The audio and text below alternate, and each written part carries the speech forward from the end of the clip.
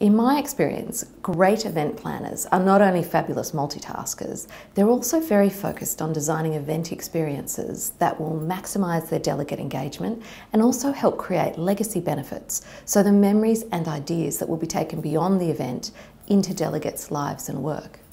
To maximise delegate engagement and create lasting takeaways from your event, it's really important to think about facilitating three different kinds of conversations throughout the event.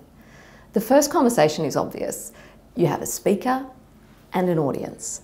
But it should never just be a one-way communication or a five-minute Q&A tagged on at the end. There are many ways to make this a really genuine conversation throughout the session. The second conversation is in the room between delegates while your guest speakers or panel are presenting.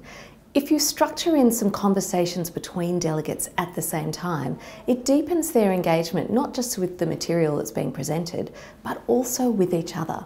And if those conversations are encouraged during the sessions, they'll also continue more naturally during breakout and social events as well. The third conversation to really drive both engagement and lasting takeaways is that internal conversation. So prompting individuals to reflect themselves on what they're learning and what they can take away and act upon beyond the conference. Whether I'm working as a speaker, workshop presenter, or as a meeting facilitator, I focus on encouraging all three levels of conversation.